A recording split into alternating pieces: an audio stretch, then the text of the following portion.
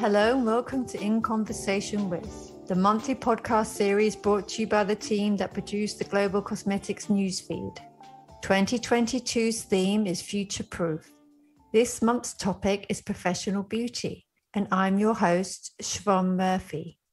24 months after the first global lockdown, how is the professional beauty category capitalizing on digital technologies whilst balancing sustainability issues and competing with a new kid on the block, personalization, metamorphosizing into a sector fit for the 21st century consumer.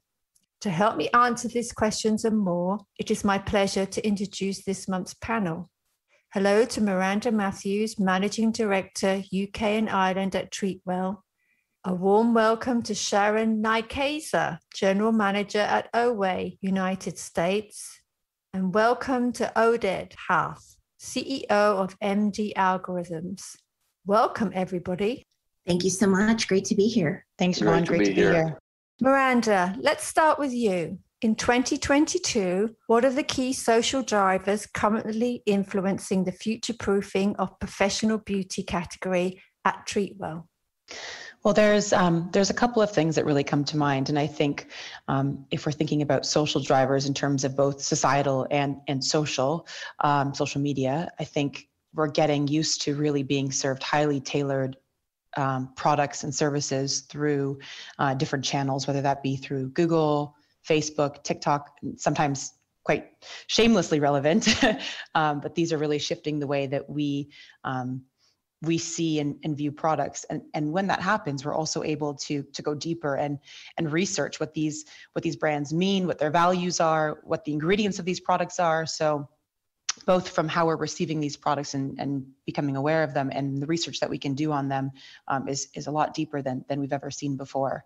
Um, also thinking about things even more through a booking lens or how we think about things at Treatwell, um, providing services, consumers really expect um, different treatment when it comes to booking reminders, personalized emails. So can continue to see that in the future as well.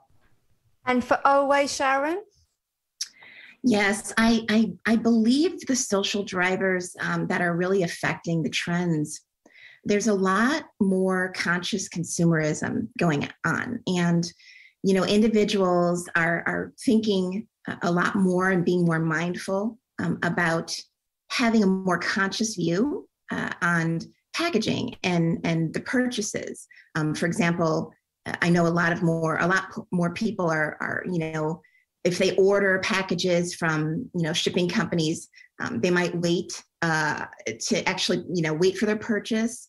Um, to get them all at once rather than in multiple packages and you know so be mindful about um, about the way that they shop uh, and more conscious is really um, driving as well as and and for us really the big thing that we're we're really happy about there's a big movement on people being conscious about cutting down on single use plastics and and having things such as reusable um, you know reusable water bottles or you know cutting down completely on plastic water bottles or opting out of that straw so to speak. So for us um, at Oway you know we're we're really expanding upon uh, offering things such as refill, you know, refillable products to to meet that demand. Um, you know, single-use plastics. I mean, they. I think there's an uh, article in the National Geographic that says that single-use plastics account for about 40% of the plastic produced every year. You know, items like food wrappers and plastic bags. You know, they have a lifespan of just mere minutes. You know, to hours. Yet they go on and persist in the environment for hundreds of years. So, you know, we're really we're really committed uh, to utilizing glass and aluminum packaging and uh, trying to obviously meet those consumers where they're at. And MD algorithms, Oded. One of the big uh, transitions, we think, uh, from what we have seen, was due to COVID. So uh, people were much less inclined, uh, in our case, to go see a dermatologist um, and uh, we're looking where can we get similar treatment or products online uh, with the personalization that a doctor can provide. And uh, with our acne treatment brand, MD Acne, for example, uh, since the first lockdown, we saw a surge uh, in orders, and um, which made brands online uh, really uh, in a situation that they can help people uh, that can't see a doctor and by providing a personalized treatment that gets direct to your doorstep um, people really saw that for the first time you can get a very high quality treatment online and um, personalized to your needs. And uh, it really has become uh, more and more mainstream uh, since then and we think that now with ai um, it's really going to be one of the big shifts uh, in the next decade indeed so, Miranda, talking about AI, in 2022, what are the digital drivers currently assisting the future proofing of professional beauty category at Treatwell? I think there's some really interesting things happening. And luckily, with us, we have so many um, amazing partners, both in the UK and Ireland, that with this, with uh, the amount of data that we have um, with what people are looking for and what they're booking, we're really able to be uh, to be smart in how we serve that back to people to provide a really um, a really great booking experience to suggest treatments that we know they'd be more inclined to book than others.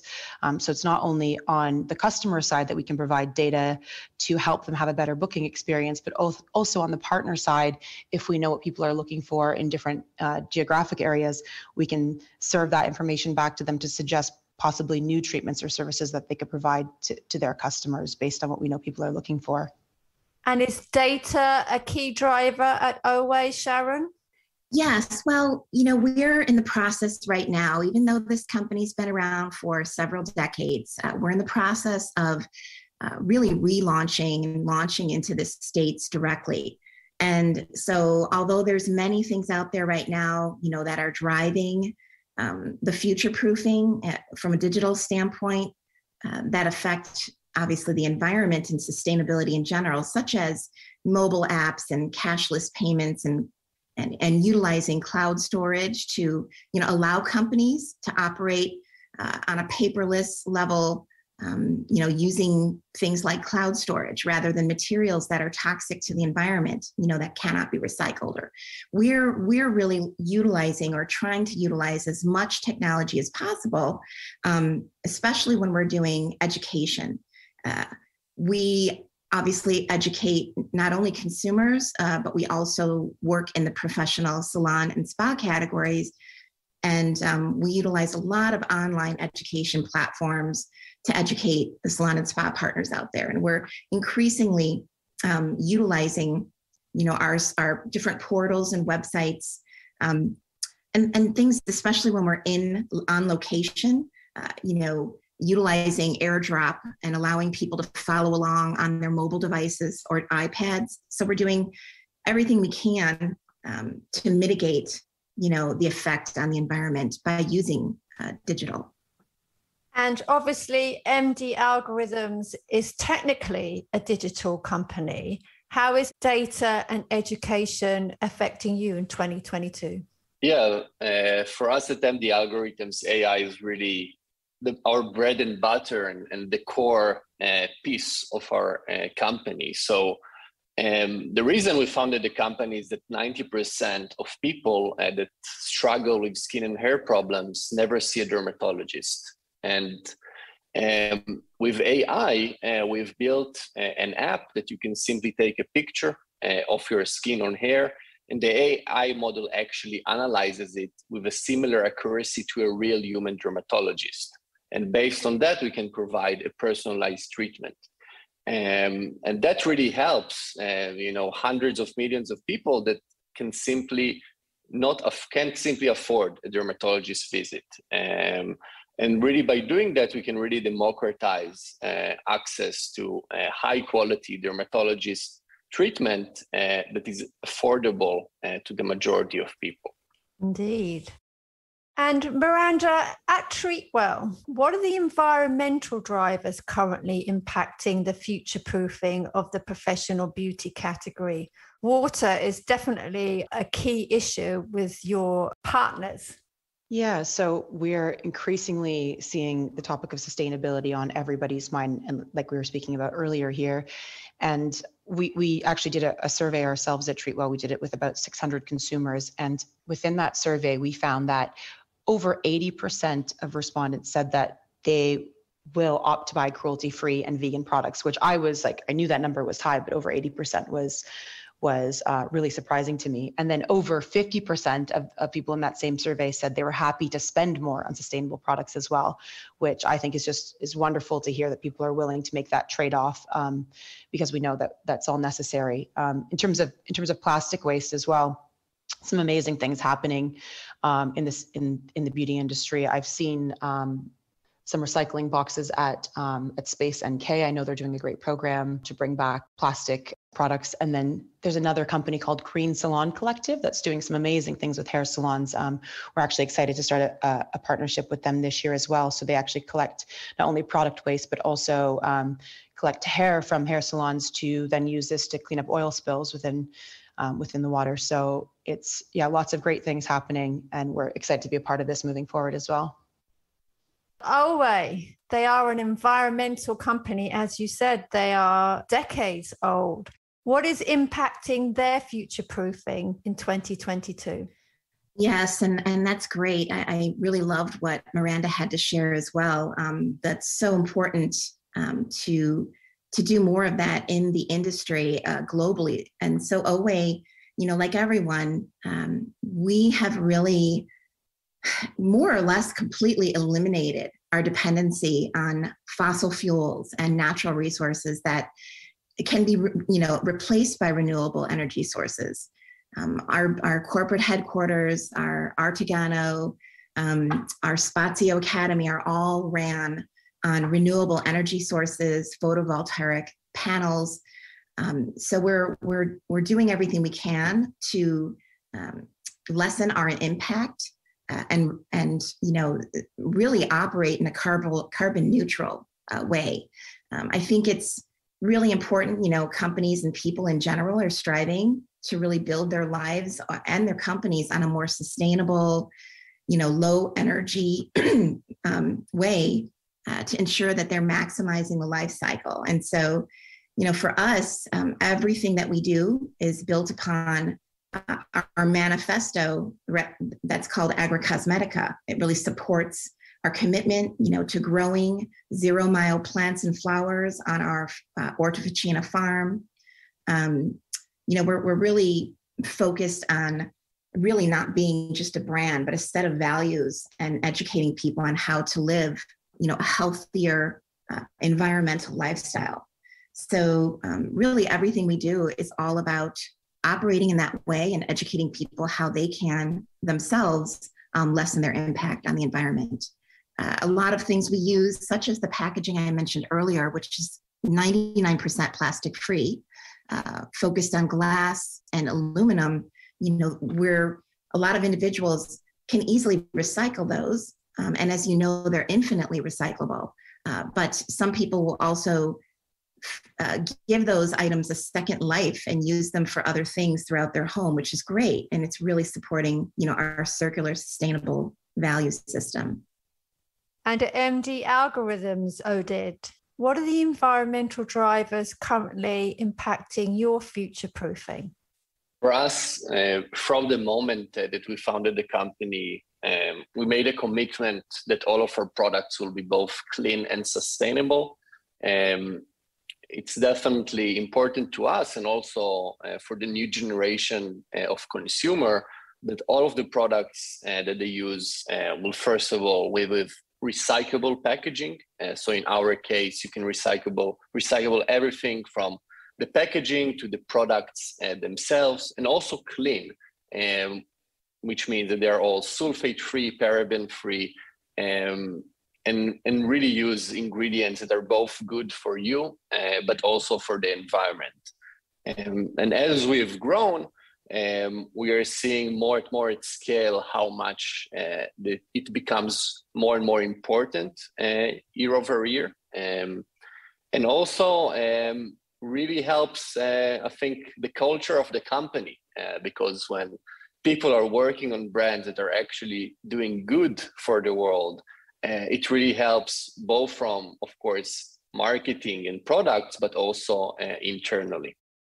And talking about doing good, Miranda, what are the regulations that are currently aiding or abetting the future proofing of the professional beauty category at Treatwell?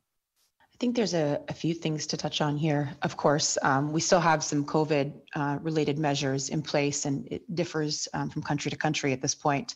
But really, we need to make sure that we're st- continuing to stay on top of this and that all staff are trained to carry out the right cleanliness and hygiene practices with all of our partners, and we're providing the right level of transparency as a booking booking platform to to um, clients as well. But outside of COVID, um, there uh, the hot topic right now um, in the industry both for uk and ireland is uh, is on injectables really. So something that i know the british beauty council is also doing a lot of work to to address and to handle in the right way. And we've seen over the last 12 months um, more regulation come into place around age restrictions. So i think it's 18 years old that you have to be now to um, to be able to to get treatment like this on on your own and there's still um, a lot of discussion happening around um, who's able to provide these treatments. So we we think about this a lot at Treatwell as well, and really strive to provide the right um, standards ourselves. So we may, we need to make sure that all the partners that we work with are registered doctors, nurses, or pharmacists um, to provide injectable treatments on our platform, uh, because we want to make sure really that the health and safety of our of our clients and users are, are at the forefront here. So, um, yeah, I think this is going to continue to be something that's widely discussed um, in the near future. And then something something on ingredients too. I think um, just having more transparency around product ingredients is uh, something that will continue to be a focus um, for companies as well. And for OWAY, Sharon, what are the regulations that are aiding and betting the future proofing of your business? Yeah, so this is really important. You know, Oway is um, a family-owned company in in Italy, and you know they adhere to the European standards, which is far and away superior to the current standards and regulations here in the United States. Um, so, you know, for me, I really would like to see increased regulation here. Uh, you know, in the United States, some of the laws that are overseeing uh, ingredients in cosmetics, for example, are you know somewhat like 80 years old, and so I'd like to see more focus on having um, regulations that are consistent, you know, across the board, and also you know there's that would help. A lot of times we talk about you know brands or maybe just greenwashing messages in general. It would really help to have um, a set of standards you know that people can really look to and trust when it comes to um, giving uh, you know consumers the transparency that they need. Um, we are very committed in, our packaging and our labeling um, to you know in, on each and every product to put the exact amount of ingredients that are natural and organic and biodynamic derived um, so on each and every bottle or tube you can turn it around and you can see, oh, this is 97.8% or this one's 99%. So we're very, very uh, committed to full transparency on every level. Uh, something else regulation wise that is tending to be um, a challenge really here in the United States uh, is state by state, there are laws that could prohibit uh, the action of refilling. And we are we know that consumers you know really want to have systems in place where they can refill their glass bottles and refill their products at their local salon or spa. And some states it's wonderful they will allow that. And that's something that is absolutely helping the environment and the you know, sustainable community in general. And some states are still behind. So uh, that is really something that we would like to bring more attention to as we continue to launch in the United States.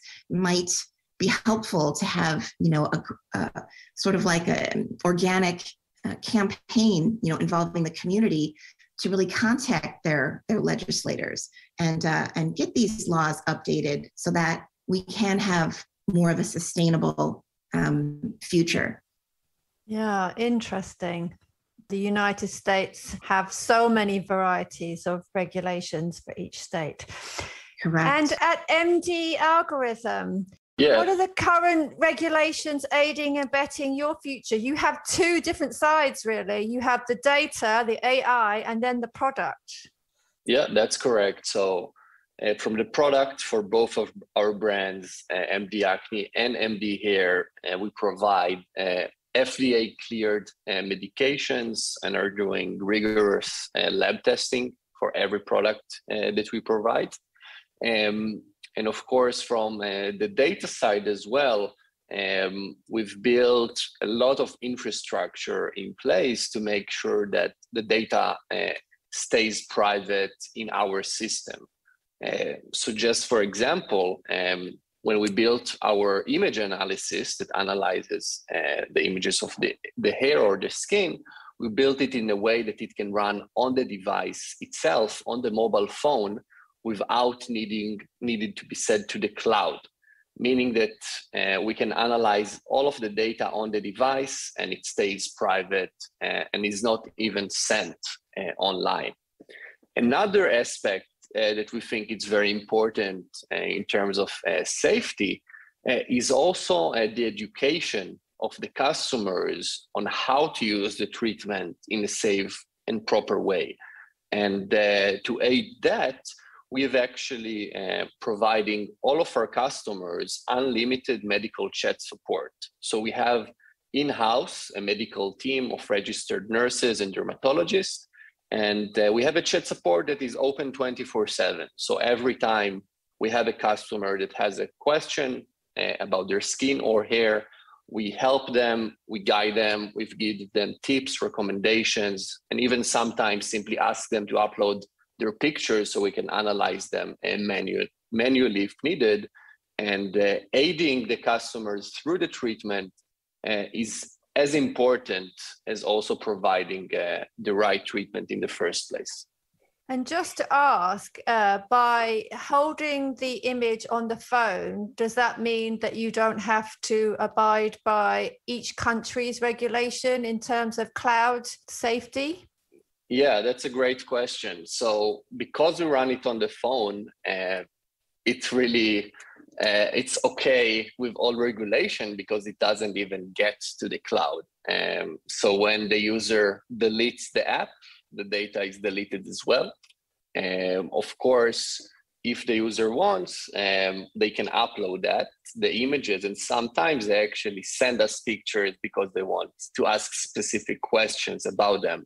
Uh, but uh, it's it's very important to think as more and more medical solutions are transitioning to become AI based that the technologies will be built in a way that if if the user uh, is interested in that it can be completely private and run on the phone, phone itself uh, with full control on the privacy of the data.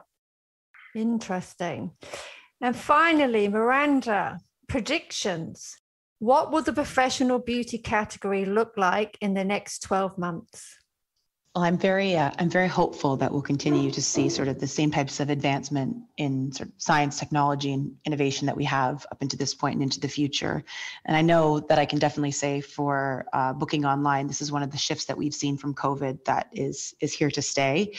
Um, everyone went online to buy their groceries and also went online to book their their uh, their beauty and their hair. So yeah, we're we're definitely going to see that continue into the future. It's easier for everybody, less time consuming, better for staff planning. Um, better consumer experience really um, all around so yeah we're looking forward to um, how that continues into the future and i also think there's just been such a great rise in social consciousness around, like we are talking about earlier, sustainability and also diversity and inclusion. So we've seen um, some big regulation changes, um, both in, in the UK and elsewhere in the world, in terms of how we treat Afro and textured hair and the standards that we now have um, in, in that sense. So really looking forward to us just being um, being better on all fronts there as well. And your predictions, Sharon, the professional beauty category in the next 12 months? Yes, well, you know, there's a big movement um, that is is going on. I think it's coined uh, it's called condensed beauty and it's it's been coined by foresight foresight consultancy the future laboratory it's all about brands um, discovering new ways to amplify their results and efficacy of beauty formulas while reducing product waste and so for us at Oway, we will continue to you know manufacture our products in infinitely recyclable glass and, and aluminum materials while providing condensed product formulations. So you don't need to use as much as you're used to. A little goes a long way. And um, I think that's going to be very helpful. And that's something that we're doing now and we're focused on for the next um, foreseeable future. Uh, the thing that I'm hopeful about, uh, there's a few things really you know brands i hope will continue to make um, not only make commitments towards decreasing their carbon footprint um, but actually take action on doing that because you know the consumers today uh, they don't they don't really want a commitment. You know they want the brands to start making action uh, you know taking the leap and doing it instead of dragging it out. Uh, so in the next 12 months i do really hope that sustainable um, sustainability in general will feel more accessible uh, to all individuals, to all across all demographics, you know, with local recycling options available on the rise and just more options in general uh, to use safe and sustainable products. So for Oway, you know, our commitment and really it's it's kind of our our goal really uh, is to participate in, in educating or re-educating in some cases uh, the consumers as well as the professional industry of beauty. And you know our goal is to by doing that and by offering ways for individuals to use items that are more recyclable and 99% plastic free you know that's really that's really our continuous purpose driven mission um, it's an it's a never ending cycle for us until we can get to 100% plastic free. We're going to continue to work towards that, educate consumers how they can reduce their plastic use, um, and you know, obviously, in general, really that's that's our continuous purpose. And your predictions, Oded? Yeah, our main uh, prediction for the next months and also the next decade um, that it's really you know the thesis that um, we founded our company MD Algorithms based on is that beauty and dermatology are going to be much more uh, technology uh, enabled and AI based. Um, we think that uh, it's about time that people can get uh, the treatment, the quality of treatment that they deserve, um, also online via AI. Um, millions of people really can't get today this treatment because of inaccessibility uh, to dermatologist offices. Uh, as I mentioned, 90% of people will never see a dermatologist. And uh, as AI and technology gets better exponentially, um, we'll see more and more uh, companies trying to use AI to really provide very high quality uh, of personalized treatment and that can get customers can get directly to their doorstep. Um, and thanks, thanks to the technology and automations, these solutions will be much more affordable and also much more effective. And with that, I would like to thank my guests, Miranda, Sharon, and Oded, for joining me today, and to you for listening.